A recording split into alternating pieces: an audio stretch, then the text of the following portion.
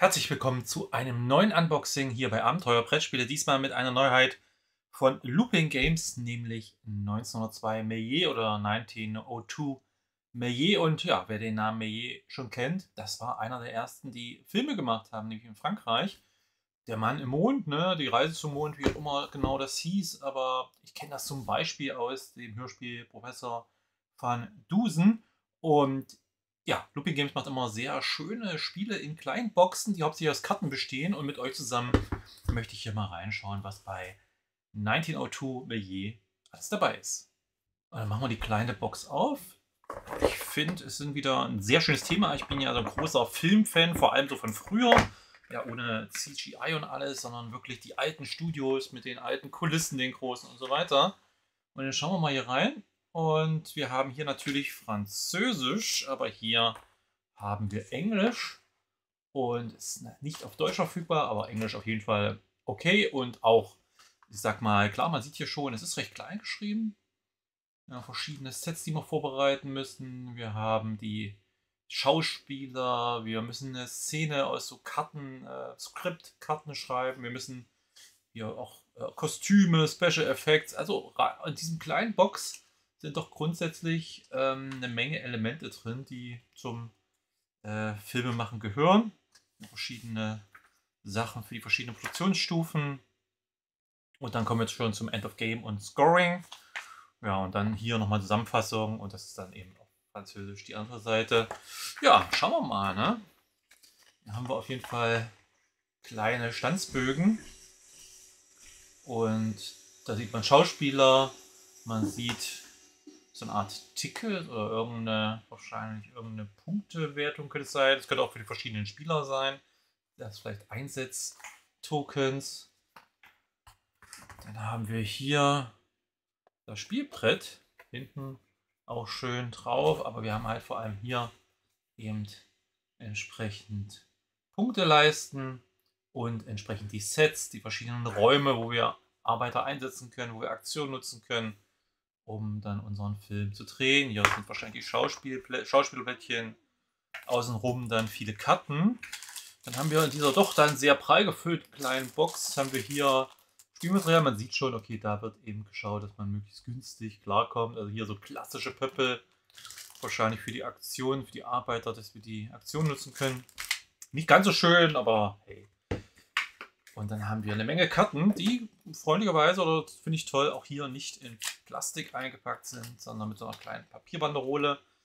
Und die schauen wir uns gleich an. Und dann gehe ich nochmal einen Tick näher ran. So, und dann haben wir hier eine Menge. Das könnte ja, Startspieler sein, vielleicht, würde ich mal sagen.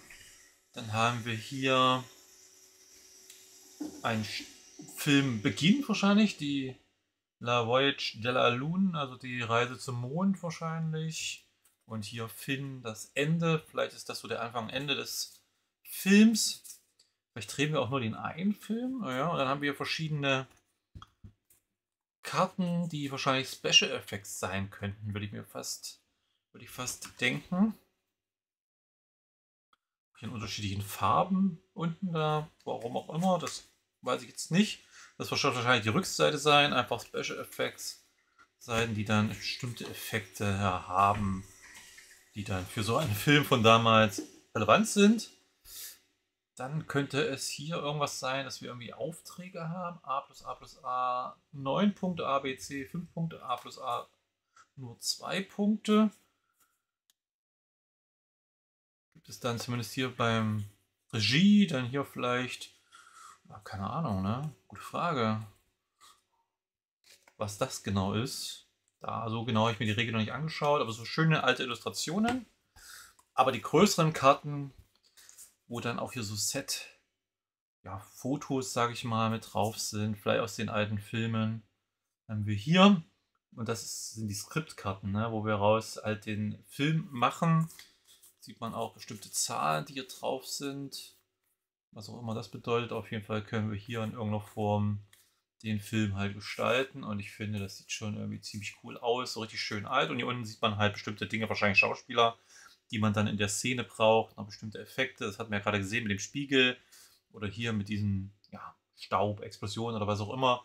Das sind halt bestimmte Effekte wahrscheinlich. Hier unten dann entsprechend farblich, woher die stammen müssen. Das hatten wir ja auch auf diesen Effektkarten drauf, dass so Farbkleckse äh, drauf waren. Und so müssen wir wahrscheinlich aus diesen 42 Szenen, könnt ihr mir vorstellen, dann im Endeffekt den Film machen. Und hier haben wir noch weitere Karten. Die haben hier hinten dann auch bestimmte Angaben drauf. Also es sind dann zusätzliche Einsatzfelder, die vielleicht im Spiel sind. Äh, je nach Partie könnte es sein, dass das vielleicht andere sind. Müsste man mal schauen. Und die können dann auch umgedreht werden vielleicht, dass das dann auch nochmal ein Einsatzfeld ist für eine bestimmte Aktion. Gute Frage.